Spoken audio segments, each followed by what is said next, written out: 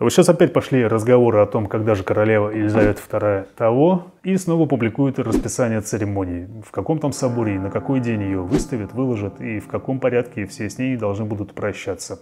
А она все не торопится. Ну, неудивительно, она же на 70% немка, а значит качество и пробег данной модели королевы соответствующий. А если бы у нее японские корни были, тогда вообще. Но если все-таки крякнет, если, то гимн Британии придется поменять. Будет не God Save the Queen, как сейчас, а как в старые добрые времена God Save the King. Потому что наследники все мужики. Вообще эту штуку God Save the Queen у нас обычно переводят неправильно, типа Боже, запятая, храни королеву. Но ни хрена. Здесь э, скорее не обращение, а пожелание. И вот эта штука называется subjunctive mood. В скобках May God save the Queen.